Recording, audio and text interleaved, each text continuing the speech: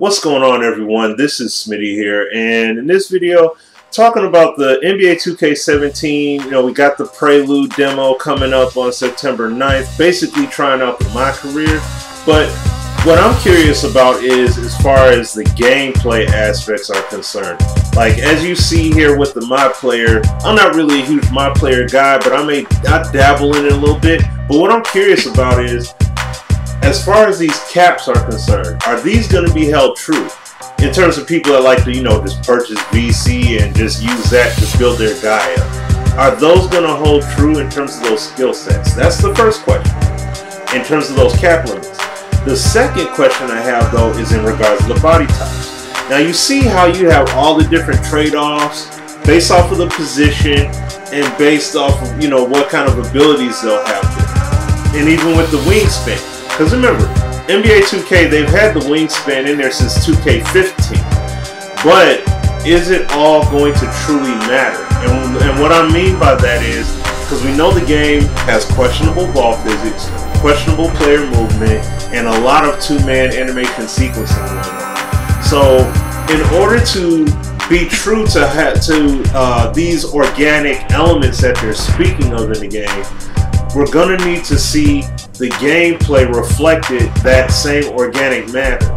Or otherwise, our players, our users, just gonna fall victim to just some scripted sequence that you know, uh, various players will be able to share based off of what kind of collisions they have or when they trigger based off of what shot type or what badge they may have, you know, etc. These are the kind of questions that I'm hoping are going to be answered for. That we'll be able to see in this in this uh, test demo here. So, you know, that's just my thought on it.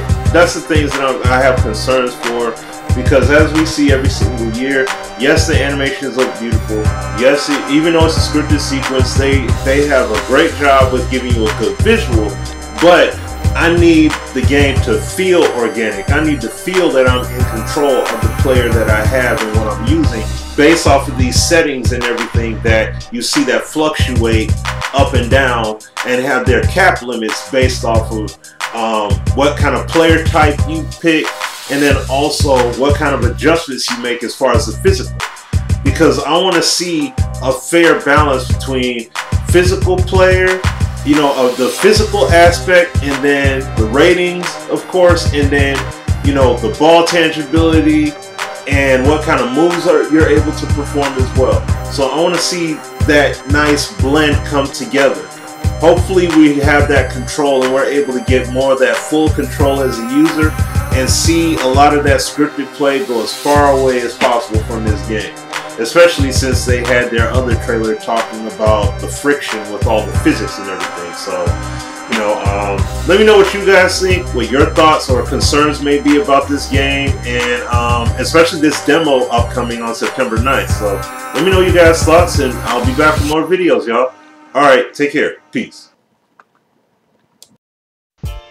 Thanks a lot for your support on today's video. And don't forget to like, comment, and if you definitely want more content like this, hit that subscribe button so you don't miss out on anything. Definitely follow me on social media as well. And tune in live right here on YouTube with myself, SimFBall Critic, and Azure Effect for the Sim Standard Google Hangout. Until next time, guys, take care, be safe, peace.